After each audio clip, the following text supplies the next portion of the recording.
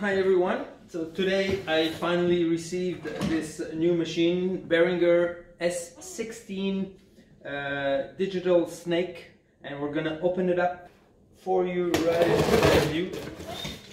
So this is the official unboxing of this machine which is a 16 in digital snake connecting to the X32 console. So here's the usual box in the box and here is the machine itself. Uh, at least I'm happy to see that there is no damage in the box unlike the X32 that arrived all damaged. S16 quite a nice piece of equipment. I can't wait to uh, install it and use it. So let's open it up. So uh, now we're gonna just open this uh, machine. And uh, the first thing we find is obviously the uh, user manual, which again is extremely thin and uh, doesn't look like it's very, very detailed. This is one of the very disappointing things that I find uh, up to now in the Behringer uh, system.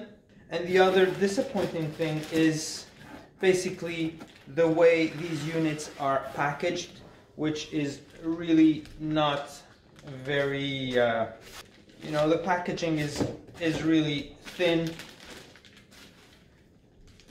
and cannot with, withstand all the shocks that could come from um, from traveling these units from the factory to the destination.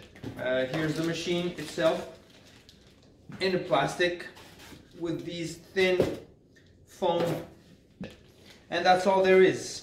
The box is really, well there's the power supply and that's all there is to the box. Okay, so next step is we're gonna just open it up and see what it is.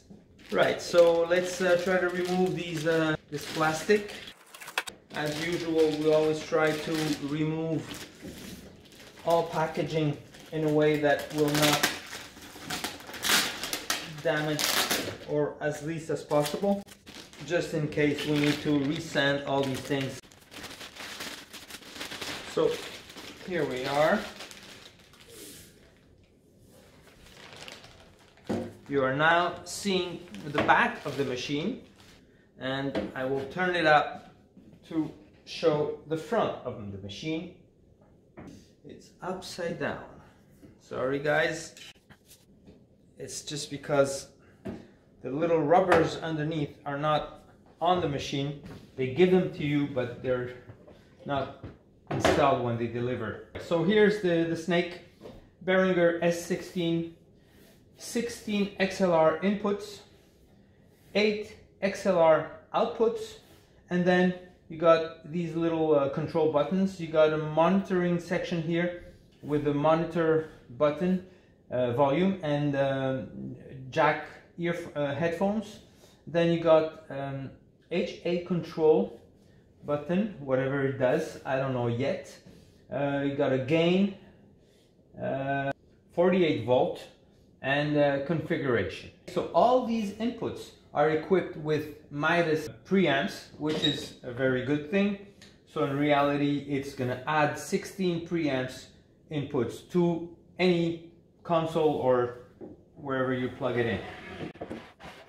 The other side of, uh, of the unit is uh, equipped with the AES50 uh, interface, which will help you connect this to, for example, your X32 mixer you got the USB interface, which will uh, go directly to a computer if needed uh, to be to be controlled by your DAW. And uh, here there's an alternate um, connector, which is basically a Cat5 connector. This um, gives you the uh, the possibility to plug in um, a monitoring system. Behringer has a very nice monitoring system with uh, 16 outputs. These are ADAT outputs.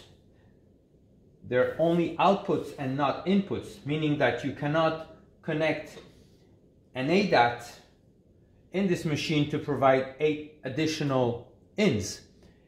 No, you cannot do that.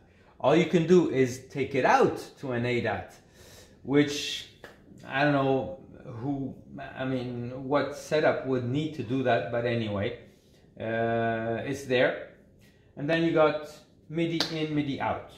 So that's just it for the machine. Uh, now let's just uh, go ahead and uh, test it first of all and then connect it. Thanks.